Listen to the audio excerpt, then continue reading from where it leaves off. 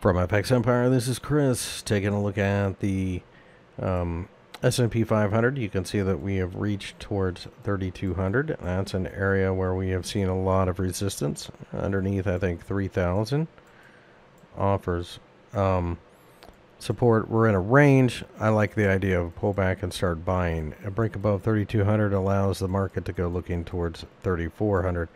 Uh, really, at this point, I think what we're seeing is something to the effect of Federal Reserve liquidity pushing the market higher.